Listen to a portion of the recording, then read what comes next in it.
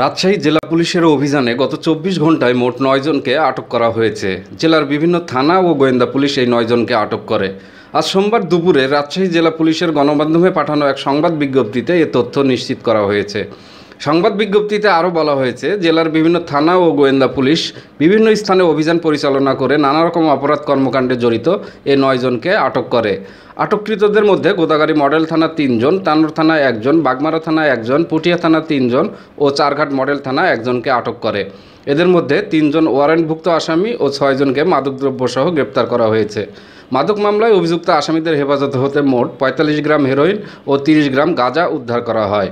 গ্রেপ্তারকৃত আসামিদের বিরুদ্ধে আইনগত ব্যবস্থা নেওয়া হয়েছে। Selim Uddin desk report Nabarup TV.